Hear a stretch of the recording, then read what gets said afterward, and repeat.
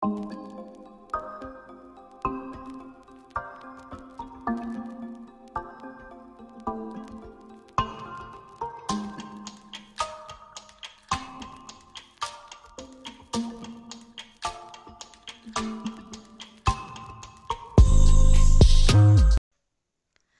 guys, to visit to my channel there I have posted videos of many other important science diagrams.